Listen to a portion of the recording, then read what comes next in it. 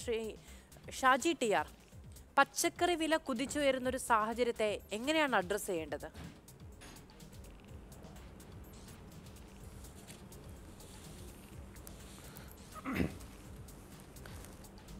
പച്ചക്കറി വില കേൾക്കാമോ ഞാൻ പറയുന്നത്?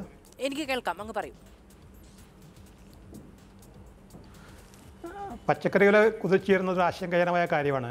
പ്രത്യേകിച്ച് ഇന്നലത്തെ ദിവസം ചെല്ലുന്നതോറും വില കൂടുന്നുണ്ട്. ഇന്നലത്തെ വിലയല്ല ഇന്നിപ്പം പല ഇന ഇനങ്ങൾക്കുള്ളത് പ്രത്യേകിച്ച് തക്കാളിക്ക് വില കൂടി വെണ്ടയ്ക്കയ്ക്ക് വില കൂടി. അത് കുറച്ച് ആശങ്കജനകമായ കാര്യമാണ്.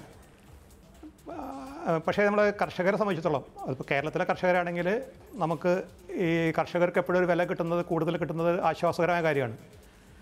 പക്ഷേ ഇപ്പം നമുക്ക് ഇവിടെയുള്ളത് പരിശോധിക്കുമ്പോൾ ഈ മറുനാടൻ പച്ചക്കറികൾക്കാണ് കൂടുതലായിട്ട് പ്രത്യേകിച്ച് വില കൂടുതലായിട്ട് കാണുന്നത്. അത് തീർച്ചയായിട്ടും പല ഘടകങ്ങളുണ്ട്.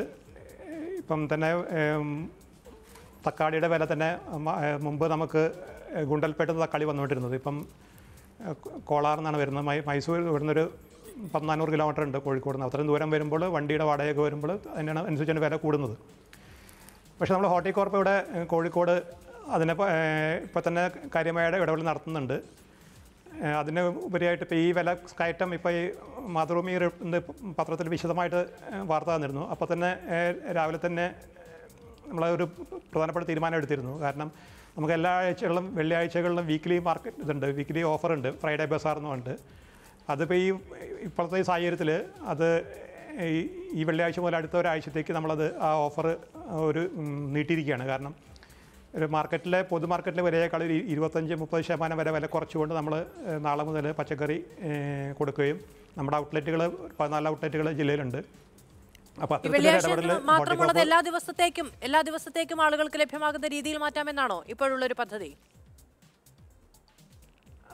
തീർച്ചയായിട്ടും തീർച്ചയായിട്ടും. അത് ഈ ഇന്നത്തെ പ്രത്യേകിച്ച് സവിശേഷമായ സാഹചര്യം കണക്കിലെടുത്താണ്. പ്രത്യേകിച്ച് പത്രത്തിലുണ്ടായിരുന്നു. അതുപോലെ ഇന്നലെ ചാനലുകൾ റിപ്പോർട്ട് ചെയ്തിരുന്നു. അപ്പം അതൊരു സാഹചര്യം കണക്കിലെടുത്ത് ജനങ്ങളുടെ മേൽ വലിയൊരു ഭാരം വരുന്നുണ്ട്. ആ ഭാരം ലഘൂകരിക്കുക എന്നുള്ള നിലയ്ക്ക് നമ്മുടെ ഔട്ട്ലെറ്റുകളിലൂടെ സ്വന്തം ഔട്ട് ഔട്ട്ലെറ്റുകളുണ്ട് നമുക്ക് പതിനാലെണ്ണം ജില്ലയിലുണ്ട്. അപ്പോൾ അതിലൂടെ നമ്മൾ ഇതിന്റെ ഭാരം ലഘൂകരിക്കാൻ വേണ്ടിയിട്ട് വില കുറച്ചുകൊണ്ട് കൊടുക്കാൻ ഉദ്ദേശിക്കുന്നത്. പിന്നെ കൂടാതെ കൊണ്ട് നമ്മളിപ്പം പാലക്കാടിലെ നമ്മുടെ കർഷകരുടെ ബന്ധപ്പെട്ടു. ഹോട്ടിക്കോപ്പ് വഴി ബന്ധപ്പെട്ടിരുന്നു. അവിടെ നിന്ന് നമുക്ക് പച്ചക്കറികൾ അത്യാവശ്യം വേണ്ട പച്ചക്കറികൾ ഇളവൻ മത്തൻ വെള്ളരി അതുപോലെ പാവയ്ക്ക പിന്നെ വെണ്ട ഇതൊക്കെ നമ്മൾ അവിടെ നിന്ന് ഇന്നിപ്പം അങ്ങോട്ട് നമ്മൾ വണ്ടി വിട്ടിട്ടുണ്ട്. അവിടെ നിന്നും പച്ചക്കറി ഇവിടെ എത്തി എത്തുകയും പക്ഷേ മുളക് ഇതുപോലുള്ള സാധനങ്ങളൊക്കെ എത്തുകയും പക്ഷേ നാടൻ പച്ചക്കറികൾക്ക് നമ്മൾ വില അവിടെ അവിടെ നിന്ന് ഇവിടുന്ന് അവിടെ അത്രയും പരിമിതമായതുള്ളെങ്കിൽ അതെ അതിവിടെ ഞാൻ